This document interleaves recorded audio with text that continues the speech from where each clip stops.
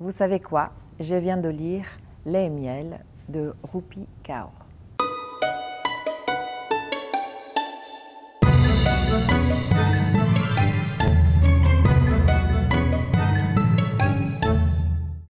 Lait et miel, c'est un recueil poétique de Rupi Kaur qui raconte de façon très moderne la vie euh, d'une femme au XXIe siècle.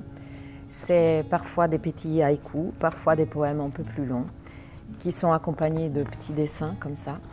Et euh, je trouve que c'est un livre assez euh, déroutant, justement, aussi par sa façon, et très émouvant, par sa façon de, se raconter entre vulnérabilité et puissance et force. Donc, euh, ça, parle de traumatisme, ça parle de violence, ça parle d'amour, ça parle d'amour de, soi.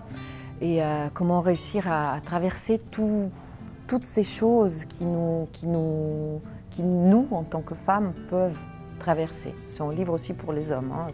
Il n'y a pas de, voilà. C'est un livre, donc Rupika, juste pour la mettre un peu en, c'est une femme, peut-être, vous avez vu, euh, qui, euh, il y a un moment, lors euh, de photos Instagram, elle avait mis une photo d'elle allongée sur un lit avec le pantalon taché de sang. Et c'est ça, c'est cette puissance et cette vulnérabilité de montrer ce qui est. donc, Rupi Kaur, miel, lisez-le.